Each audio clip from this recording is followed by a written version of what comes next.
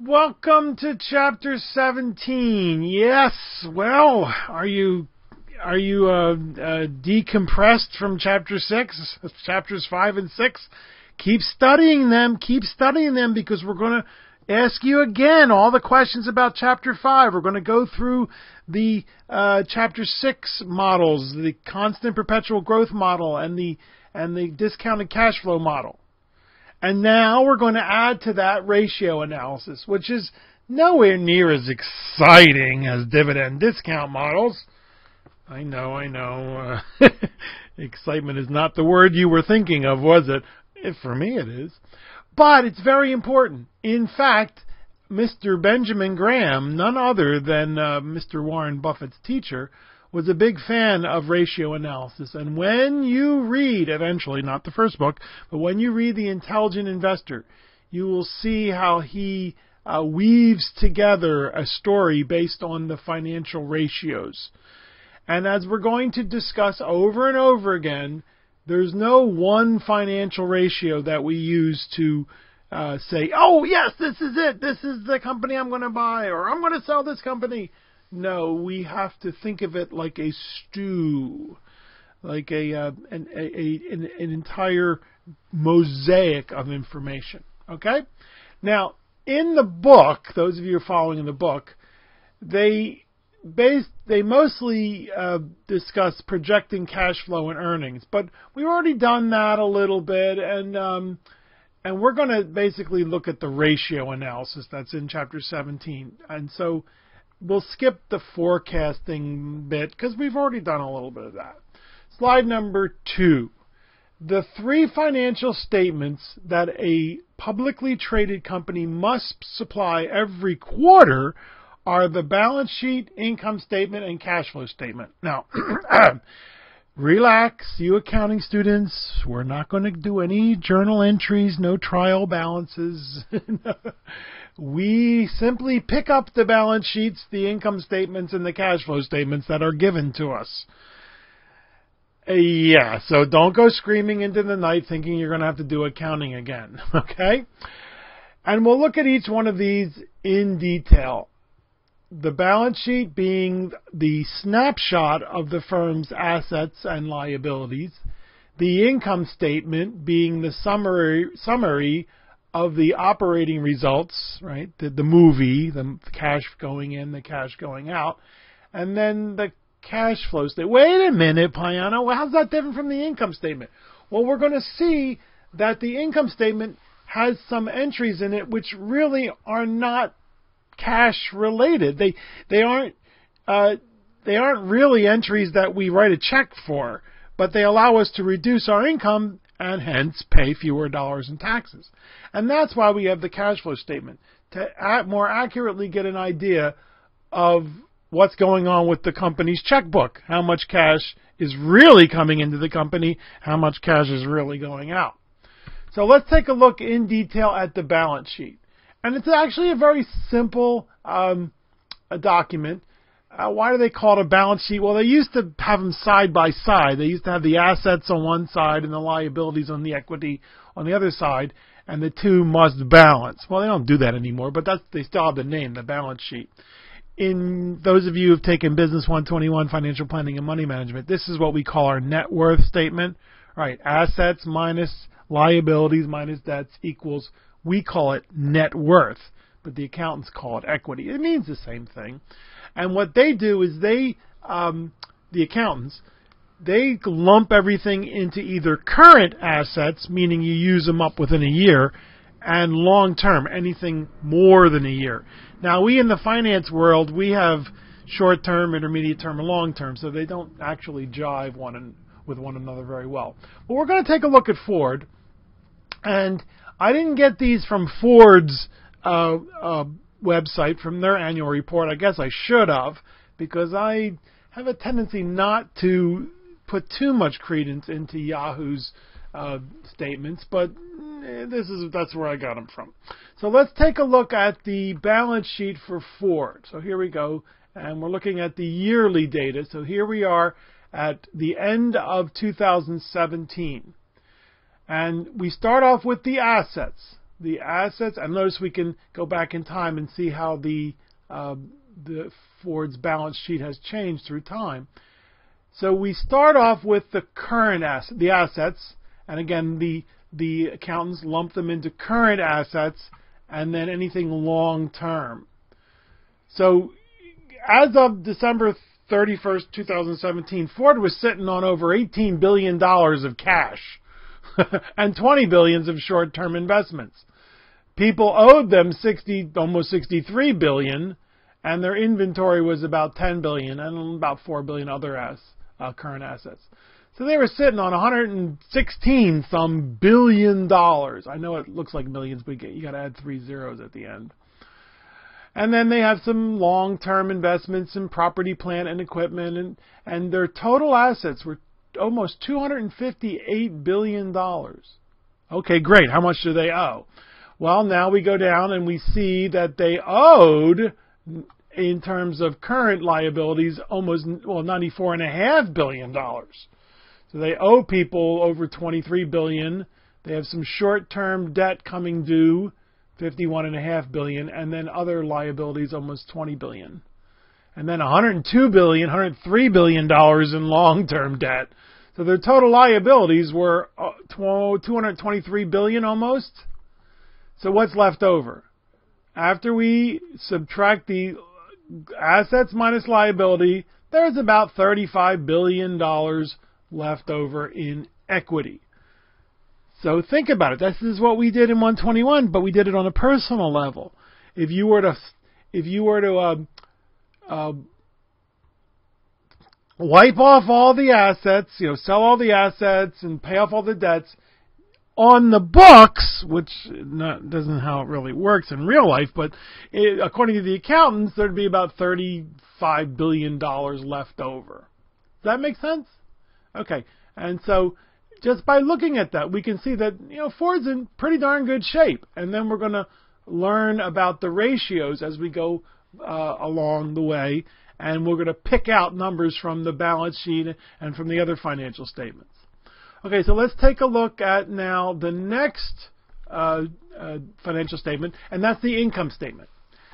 That's very simple, folks. You take the company's revenues and subtract their expenses, and that's their income. Net income equals revenue minus expenses, and you have that money left over to pay dividends to the shareholders or or use it to finance the future growth of the company and so let's take a look at the income statement for Ford and see that Ford is actually doing pretty darn good, folks. Let's go back up to the top. Here's that top line number. Do you remember listening to the earnings calls? And they talk about the top line growth and the bottom line growth. Here's the revenue. Almost 157 billion dollars they sold in in uh, in cars in 2017. Again, we're looking at the yearly data. You can then uh, get more precise by looking at the quarterly data, but we're looking at their yearly data. And in 2017, it cost them cost of goods sold, cost of revenue, 140 billion dollars. So their gross profit was 16.34 billion dollars. But then there's that S, J, G, and A or S, G, and O. I know that some of you had a hard time finding it, and I don't blame you because I first thought, wait, are they talking about sales general and other expenses or sales general and operating uh, administrative expenses? Yes, that's exactly what they're talking about. So then we get from our gross profit, we take away the sometimes called overhead, overhead, because you got to pay that no matter what, and their operating income, and notice if it's a loss, you put it in parentheses, is $4.8 billion. Not bad for it, huh? So now they had some other income coming in, and the numbers don't jive, so I'm not exactly sure. I don't know if I trust Yahoo that much.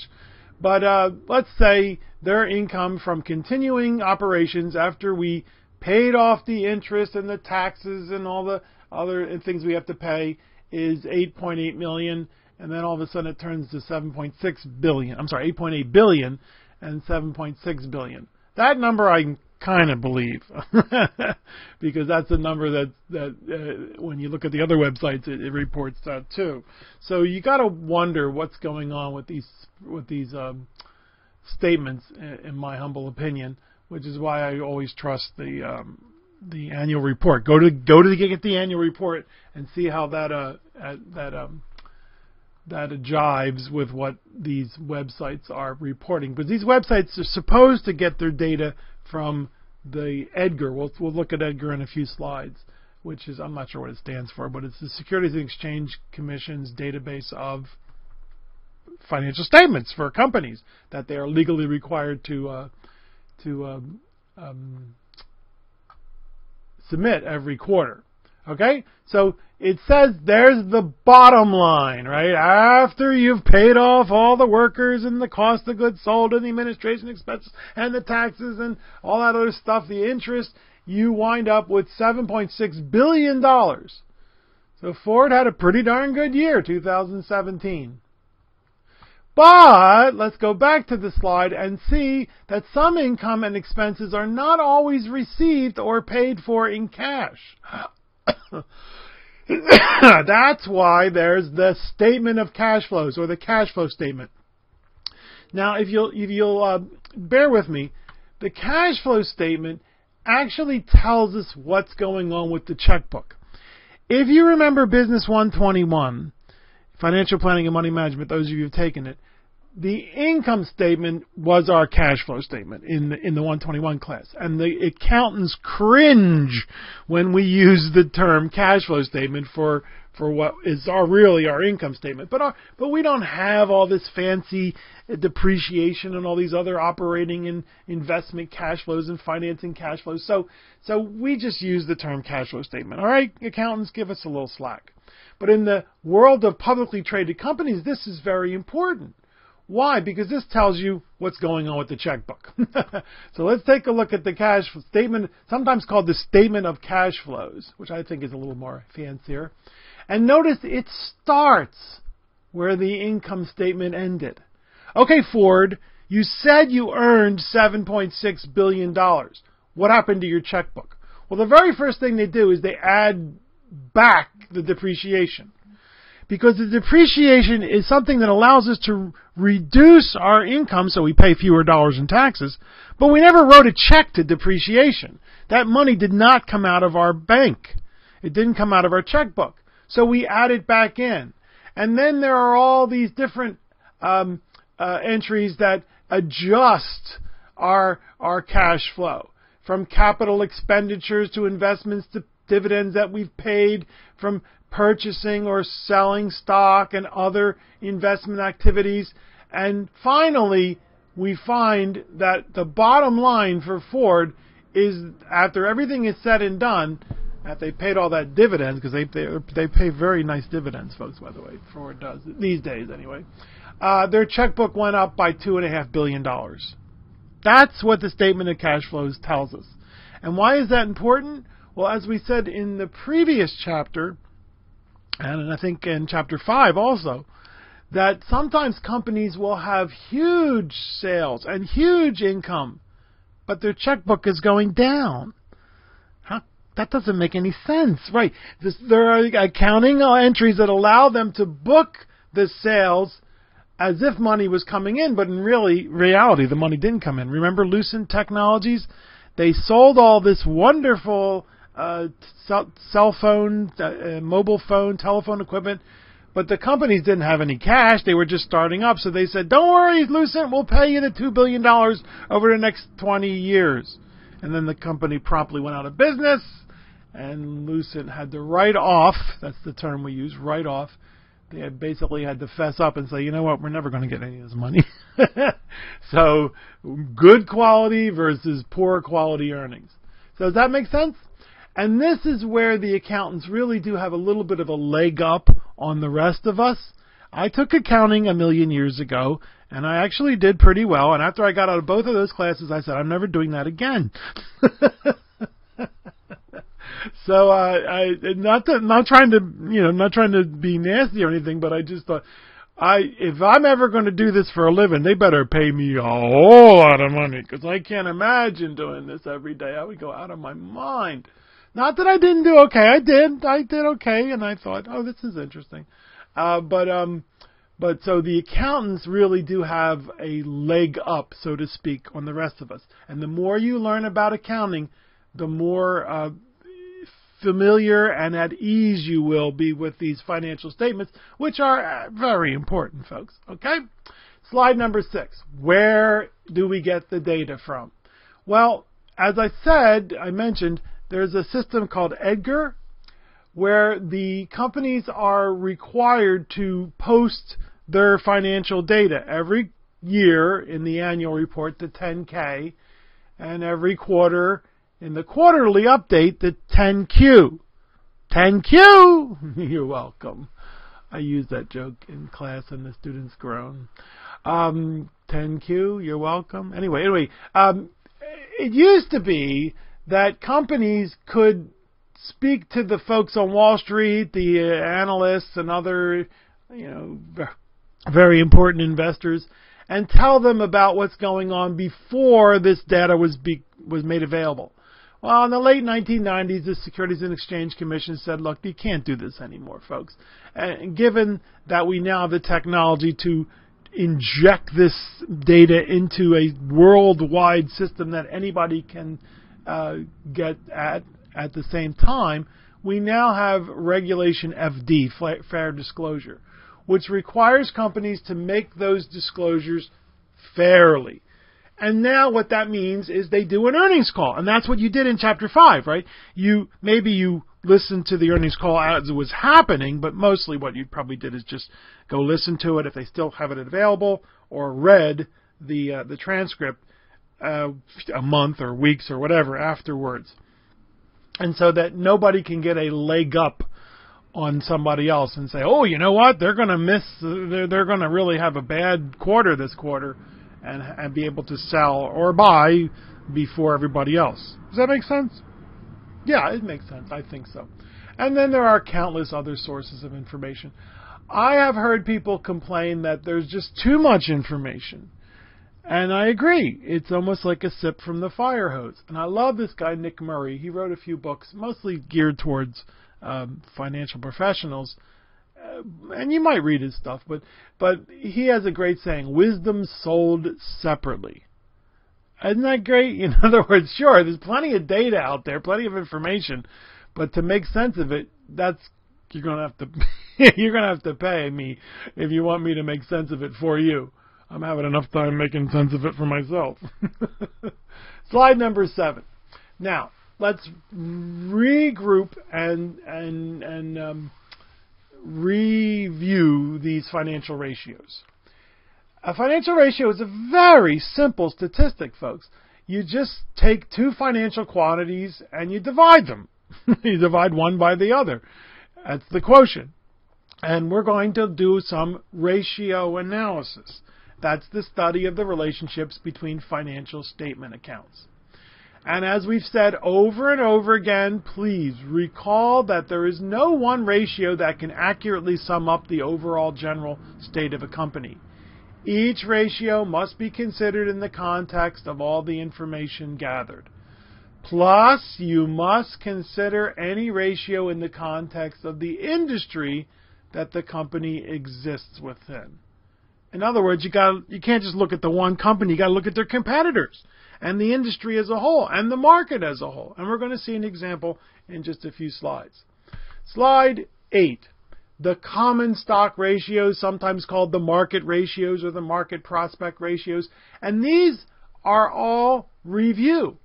So we're going to burn through these fairly quickly after looking at a serious example because we've already gone through price to earnings, uh, dividends per share, dividend yield, the dividend payout ratio, book value per share, and price to book, price to cash flow, price to sale. They all work the same as price to earnings. The only new one that we're going to take a look at is the PEG ratio, the price earnings to growth ratio. Slide number nine, price to earnings. Folks, this is the most popular stock market statistic. This is the one number that people jump and look at before any others because it tells you how much you're willing to pay for a dollar's worth of earnings, right? we take the market price of the common stock and divide it by the earnings per share. And as we saw in chapter 5, it's a very simple calculation, but we don't even do it. We just go online and it yells at us, right? It's up there. It's one of the first things we see when we look at the summary page of any stock. And to review, this is the most popular stock market statistic. Historically, PE ratios were in the 5 to 12 range for mature companies, 14 to 20 for growing companies, and greater than 20 was unusual, but today it is commonplace. And I make this mention, and some people get a little upset with me. They say, well, why is that important? And you decide whether it's important or not. But the PE ratio also tells you how long it will take in years, assuming no changes in earnings, for the company to earn back its price. Huh? Well, if you if you have a PE of three, in three years they will earn back their their price in earnings. If it's a PE of 20, it'll take 20 years. It's a PE in the hundreds, it's going to take hundreds of years. Now, remember, everything's changing. The price and the earnings are changing all the time, and investors' expectations of the future are changing all the time. So whether or not this is an important statistic or an important idea for you to think about is it's up to you. Mr. Peter Lynch mentioned it a few times, and I just thought it was kind of interesting. Uh, if you don't, if it, if it speaks to you, if it makes any sense to you, great. And if not, just forget about it. It's not that important. Make sure you understand that the higher the PE, the more investors are expecting the future to be great for this company.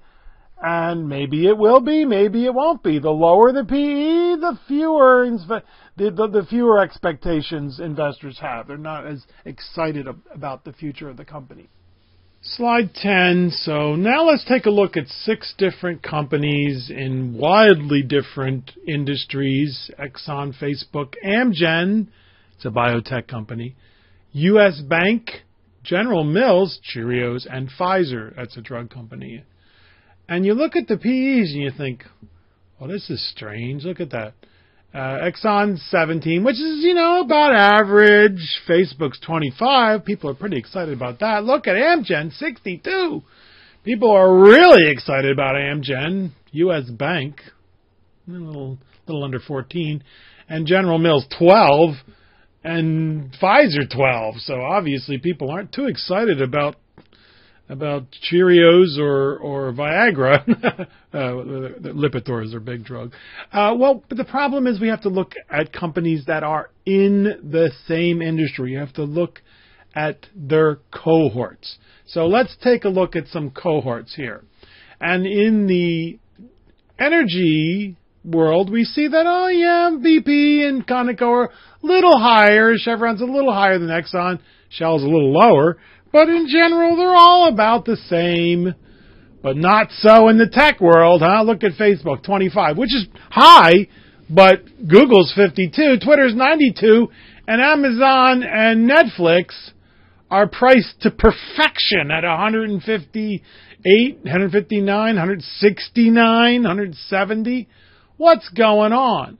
Well, when you see something like this, and Twitter at 92, I should have put an exclamation point there, and even Google, you, you, it's a, it's a red flag. It's saying, wait a minute, wait a minute, you need to do more research.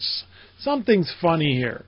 Is, does, do these companies really deserve these PEs? And if you talk to folks who are, you know, big fans of tech, They'll say, yeah, oh yeah, they're taking over the world. They are disrupting the industries. They are distru- disrupting, excuse me, disrupting the, um, the, the, the culture and, and the, uh, and the, and the, and the world. So yeah, sure. But you know what, folks? if something goes wrong, those parachutes had better be very, very large because uh, there's a long way to fall, right? Now let's take a look at the biotech world. Oh my goodness, it's all over the map. Yes, you really, I mean, when you, when you start looking at biotech companies, you know one or two of these companies is going to just hit it big. But the rest of them, oh well. Now, obviously, people are excited about Amgen and Illumina, but eh, I mean, they're still excited about Biogen and Celgene, but not as much as the other two. And this is where there's tr- tremendous potential for, for, for, for striking it rich and for losing everything. Uh, one of my favorite companies was bought a couple of years ago, no, a year ago, by Amgen, Kite Pharmaceuticals. And they're not the only ones. There's Bluebird, and then Juno, I think, was bought also. These are companies that are working on curing cancer. Very cool. It's going to happen. Now, how? When? You know, how is it going to happen? Five years? Ten years? I don't know. Let's hope for sooner for the people who have cancer. But this is so cool. And that was Kite Pharmaceuticals' um, uh, uh, motto. We are going to cure cancer. Something along those lines. I'm not sure exactly. I don't remember exactly what it was. So you really, that means you really have to do your research and realize that you could do very, very well and you could lose everything. Yeah, many years ago I was a sucker for biotech and, uh, you know, they, they all started off really well. Yeah.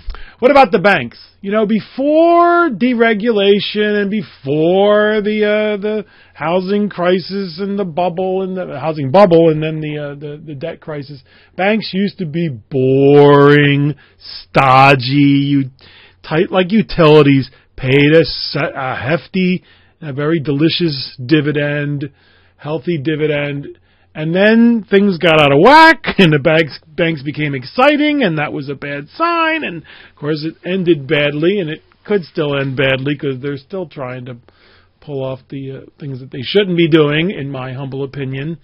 But they've become more and more boring again. Look, everyone is under that, except for J.P. Morgan. Everyone's under 15. J.P. Morgan's at 15, which is you know pretty low by today's standards. So, do you want something boring that pays dividends and ain't going to go away? Because the regulators and the government won't let them go away. go buy a bank. Now, food companies. Hmm. Well, again, food companies not too exciting. Look at Kraft Heinz. People are really not excited about Kraft, are they? And so that we give a question mark. Now, wait a minute. Does it really deserve a PE much less than their cohorts, than their, I don't know. That's something that we use as a little red flag. I use that, that analogy there, uh, to go do more research. And Hormel is higher than General Mills and Kellogg's, right? Boring companies. Everybody eats their Cheerios and their cornflakes. Do people eat more cornflakes because the economy is growing? No. Do they eat less? No. They need you need food, but for some reason Hormel commands a, a little higher. Uh, so let's do some research and see if spam really is a. You know, if I were Hormel, if I were the company, I would start an email campaign and I would call it "This is spam mail." you know, I think they'd they they're very sensitive about that. And I, I don't know if you you younger folks know, but the the term spam originally came from, I'm assuming, I mean, I, we should really do this more research, but it was something that you didn't want because there's a, a old Monty Python skit about spam, and the, the all, they go to this restaurant and the woman everything is spam. And the woman says, but I don't like spam. And she, she, says, well, everything we have is spam. So you gotta have it. And now the drug company. What? Whoa! What's the, what's going on here? Look at Pfizer. 12. Not very exciting, but Merck, Bristol Myers? Oh my goodness. Now, if we're going to even consider investing in these companies, we've got to do a whole lot more research and figure out what is going on. Well, you know, maybe it's just an anomaly. There's some data that has not made it into the PE yet. Maybe the, their earnings have jumped dramatically and it just hasn't been uh, put into the 12 trailing 12 months PE, which is normally what is reported. So and so investors have reacted and said, yeah, well, we know that. We know that the the, P, the trailing PE is 275, but going forward, Bristol Myers has hit the ball out the park or whatever whatever sports analogy you want to use. And now they deserve a much higher PE because next quarter, next year, it'll drop because their earnings have grown substantially. And what does NA mean? Not applicable. Well, when you see NA in a PE um, slot, that means that they're losing money. Right, Eli Lilly is actually not generating any earnings; they're losing money. So some some websites will report it as a negative number because that's what happens. The price divided by negative earnings gives you a negative number. So normally it's just not uh, it's not um, reported. But some websites will report the negative uh, PE. So you see what you're up against. This, according to the marketplace, is what investors believe the futures are for these companies. Now, are they right? Well, we'll know in two to three to five years but by then, the world will have changed quite a bit. And that's what you're up against, dear students. And this is true for all of these ratios that we're going to go through in this chapter. It's just a, uh, a, a, uh, an, indica- an indicator of more research we have to do. And then we have to look at all of them in in in in conjunction with one another. We can't just look at just one and say, "Oh, oh, oh, this is the." I've already said this. This is the reason we're going to buy this stock or sell this stock. We I I like to think of it like a soup, okay? And when you eventually read the, uh, as I said, read the uh, the uh, Intelligent Investor. Don't read it first. But you'll see that Mr. Benjamin Graham uses these uh, ratios quite a bit, and you'll see how he uses them. Okay? Slide number 11. How can we account for the wide price to earnings disparity between different industries and different companies within industries? Again, it is the expectation of future earnings and and possibly dividend growth by investors for companies that are paying dividend. It's all about the future. And this you probably can't read it if you're looking at looking at this on a smaller screen, but it's a quote by Jack Dreyfus from a random walk down Wall Street, and I'm going to read it now. Take a nice little company that has been making shoelaces for 40 years and sells at a respectable six times earnings ratio. This is 1960s, folks, 1950s. Change the name from Shoelaces Incorporated to Electronics and Silicon Furth Burners. In today's market, the words electronics and silicon are worth 15 times earnings. However, the real play comes from the word Furth Burners which uh, no one understands. A word that no one understands entitles you to double your entire score. Therefore, we have six times earnings for the shoelace business, 15 times earnings for electronics and silicon, or a total of 21 times earnings.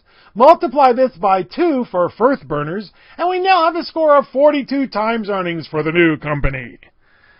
Uh, Mr. Jack Dreyfus was a very famous investor who started Dreyfus Funds and uh, the technologies have changed, right? Because today you would replace Furth burners with cryptocurrencies or nanotechnology or 3D printing, and you would replace electronics and silicon with social networking and China, or maybe marijuana. Exactly. There's a whole lot of silliness that goes on in our industry, folks. Wait till we get to chapter 7 and 8. Slide number 12, the PEG ratio. Now, this is the one that we haven't looked at yet, so let's take a look at this. The PEG ratio is simply a way to compare the PE ratio to the rate of the growth. Huh? Well, as we said before, in the in, in traditionally, a company's growth rate should match its PE. So if you take the PE ratio and divide it by its three or five year growth rate, if it's equal to 1, that means it does. The PE ratio equals the growth rate. So it's a, it's a ratio. If it's higher than 1, that means the PE ratio is, is bigger, is greater than the growth rate. And of course, if it's lower than 1, the PE ratio is less than the growth rate. And greater than 1.0 is now commonplace, right? Because investors are just so much more aggressive in their in, in their investing these days.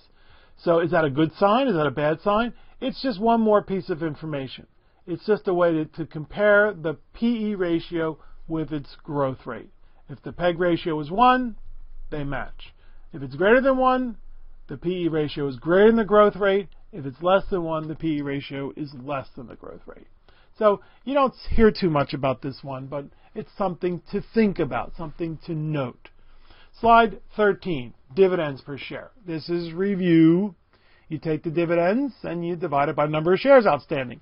As we discussed, dividends became taboo during the 1990s, and since the 2000 to 2002 bear market, many investors have changed their minds about dividends. It didn't help. It didn't help us in 2008, but uh, but but dividends can be discussed in polite company again, in my humble opinion. Dividend yield, a yet another important statistic that tells us how much it is paying us on a percentage basis. Uh, percentage of the stock price. You take the dividends per share and divide it by the market price. You've done this already, right? This important statistic allows an investor to compare a company to other forms of investments that pay income, such as savings accounts or bonds. Traditionally, 4 to 6% was considered good. Currently, the S&P 500 is yielding just under 2%. 10 year treasury bonds yielding under 3%. Many savings accounts are still yielding far less than 2, 1%. And some stocks are paying much more. Look at Ford. Yeah, look at at uh, GM, and the the car companies. Not not so much uh, Toyota. They're paying what about two and a half or so. But but take a look at a take a look at a, a Ford and GM. They're paying a very healthy dividend. Right. So some companies are paying more. AT&T and Verizon uh, the telecommunication companies. They're out there, folks. The yield hogs, as I like to call them. Slide number 15, the dividend payout ratio. Again, review. My apologies if I'm burning through this too quickly. Just slow it down. This is a measure of how much a company's earnings are being paid out to the shareholders in the form of dividends. We calculated it back in chapter 5 you take the dividends per share and you divide them by the earnings per share. A more mature company will often pay out almost all of their earnings or, or much of their earnings in the form of dividends. Why? Because they don't need the cash. Utility companies, how much cash do they need? They're not growing that. Some of them are in some growth areas, but for the most part, no. Uh, growing companies, of course, retain their earnings. You accounting fans know what that's called, right? Retained earnings. Money they haven't, income they have not paid out in the form of dividends. Why? Because they need to support the growth of the company. Cool. Slide number 16, book value per share. Again, uh, a, look, a value that we looked at back in chapter 5. You take the common stockholders' equity and you divide that by the number of shares outstanding. And that tells an investor how much assets are behind each share of stock. In other words, as we said when we looked at the balance sheet, if all the assets of the company were liquidated and then the, uh, the, the uh, debts paid off, how much would each shareholder receive? It is common for the actual market price of a share to be above the book value per share since it just makes sense. The company is worth more intact than if it were dissolved. Today, it is very common for the market price to be far above the book value. And again, it just makes sense because think of a pizza shop or a shoe shop. If you were to sell off all the assets, pay off the debts, you really wouldn't have much left. It's the fact that the company's in business earning money that gives it its worth. Slide number 17. And then we take the price and we relate it to the book value price to book value. Take the market price and divide it by the book value, and we find that these numbers are three, four, five, or higher. Given that the book value per share is often less than the market value price, the price to book value per share tells an investor how far above the book value the market value is. If they are equal to one, obviously they're the same. But we see three, four, five, if it's below one, that's a very dangerous situation, which we've discussed already. If the market price falls below the book value, assuming there is real value there, assuming that it's not just on the books, it's an accounting uh, uh, fantasy, accounting uh, uh number, then there's real danger of that company being rated for its assets and sold off all the selling off all the assets and paying the debts and walking away putting the company out of business. And we discussed this. It sounds horrible. Uh, especially if you're an employee of that company who's been working there for 22 years. But no, that's what capitalism is all about. It's about the efficient use of that capital, which is a fancy word for resources. And so that company was probably on its way out anyway, and so it's the time to plow it under like a, a farmer would plow the field and release that capital. And not only the, the money and the other resources, but we're talking about the humans. They're in a in an endeavor that is not productive, or at least that's what the market believes. So you decide whether or not you think that's a harsh way of dealing with people or it's a smart way because that's why we have, as we discussed, that's why we have unemployment insurance. It's not to pay people not to work, folks. It's so that we can unleash unleash their human re- resources, unleash the human capital.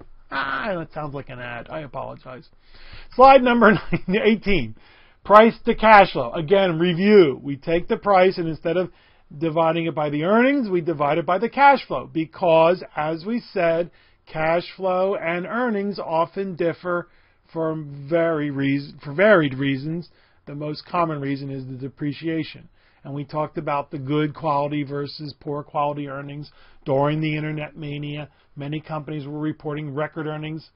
At the same time, their cash flow was negative. How could that be? Well, because of accounting irregularities or uh, or gimmicks or I don't know if I should use those words. The accountants might not appreciate that, but yeah, sometimes it does seem a little like hanky panky, doesn't it? And of course, that's what happened with Enron. And some of you young folks don't remember Enron, but look them up. E N R O N, Enron, which used to be Houston Power and Gas, right? It became a, an exciting company. A utility company became an exciting company, a very dangerous combination. And then the, the accounting firm that did their accounting, Arthur Andersen, disappeared because they had done such gimmick war. They had done such, you know, what's the word? Hanky panky. they had done such uh, such uh, outrageous uh, accounting maneuvers to make it look like Enron was a whole lot better than it was when it was actually drowning. Uh, and so that company disappeared. look it up. Look it up. Look up Enron. Cool. Okay. Slide number 19. The common stock ratios. The last one is the price to sales ratio. And again, this is review. During the internet mania, many analysts use price to sales instead of price to earnings, since most all the new companies never generated any earnings. Cool? Okay, so these are all review except for the PEG ratio. Now, in our next presentation, we're going to look at new ratios and we're going to do some calculations. So I want you to print out or at least have available uh, if you have a large screen, the Ford balance sheet and the Ford income statement because we're going to pick out some numbers and do some some calculations and then do some comparisons. Okay? So we'll see you in our next presentation for chapter 17. Study hard, dear students. Bring honor and glory to Southwestern College. We are so proud of you. We want you to be awesome.